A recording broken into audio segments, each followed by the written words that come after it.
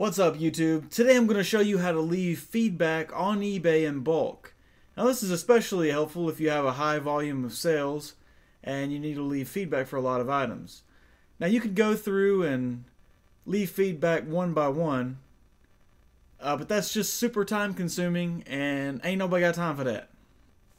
So what we want to do is we want to get to the eBay selling manager. And the way that I normally do that is I go to manage my store Scroll down to the Selling Manager link. Alright, next you want to go ahead and shipped link on the left under Selling Manager.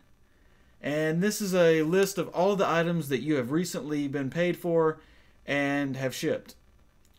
You want to select them all, go to Other Action, and leave feedback. Now what this is going to do is it's going to bring you into a bulk feedback session, for lack of a better term.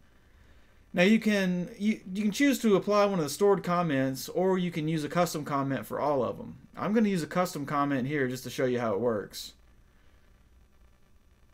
Uh, once you have your comment, you hit leave feedback and then you'll see your confirmation at the top that says your feedbacks are being processed and will be left shortly. That's it. That's that's all there is to it. I just left feedback for 25 items in one mouse click.